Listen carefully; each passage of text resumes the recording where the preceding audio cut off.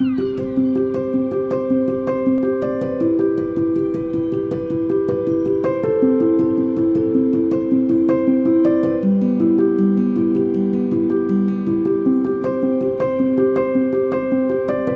is natuurlijk Paralympisch wielrenner en hij had ook de Olympische Spelen op planning staan.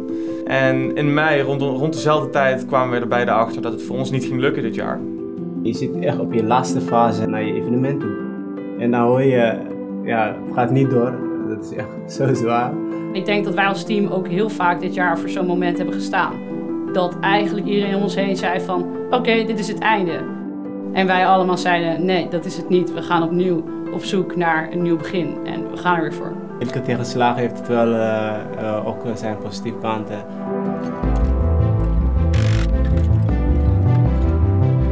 En dat je ziet dat iedereen zo hard werkt en zichzelf zo hard pusht om het perfecte eindresultaat neer te zetten, dat loost je zo een jaar door.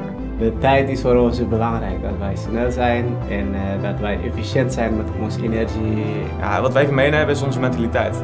Het maximale uit iedere situatie halen en altijd voor goud gaan. Uiteindelijk zijn we hier om gewoon de beste auto neer te zetten, duurzaamheid promoten, laten zien wat je kan doen met je team studenten. En dat er nog geraced gaat worden, dat, uh, dat vind ik echt onwijs gaaf.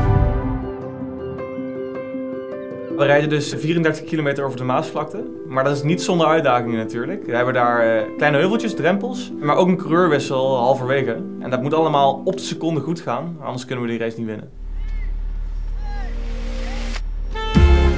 Nu naar go, go, go. Target speed 60, 6-0. Target speed 60, 6-0. Focus op je ademhaling en laat de benen het werk doen, hè. Kom maar.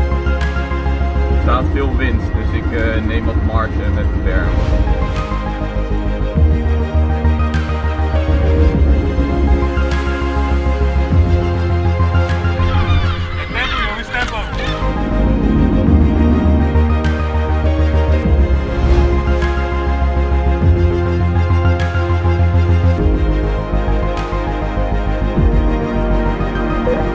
meter.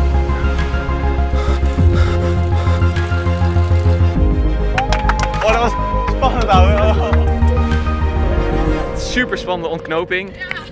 Ja. Uh, je merkte echt dat hij op sommige stukken veel sneller was dan ons. Hè? Heel gaaf. Ik neem dit uh, voor mijn hele leven. Het is gewoon uh, ja, bijzonder, bijzondere ervaring.